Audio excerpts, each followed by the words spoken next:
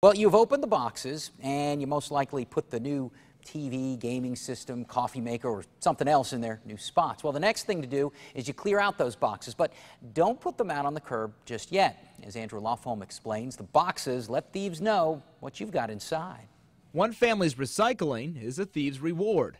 It attracts uh, people with malicious intentions. It's an unintended invitation for bad guys to look inside your home to see what was under your tree. I think it's a bad idea uh, for them to advertise what they just got if it's something really nice. The big gift this year at Chris Reeg's parents' house was this $1,800 automatic coffee machine.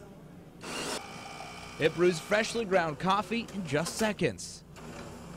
Yeah, we were really disappointed with our old coffee maker, so we decided to get a top of the line new coffee maker.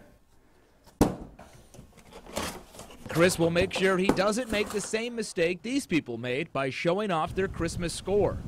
Experts say to keep it out of sight and fold it up. Limit its time outside and bag it if you can. Very easy to do. It probably takes an extra 10 seconds of thought versus just bringing it out uh, the day after Christmas. Now, you could also take your boxes to a recycling center yourself. Now, a woman I talked to off camera said she went as far as burning the excess cardboard when she had a big ticket item. Reporting live, Andrew Lofholm, WPTV News Channel 5.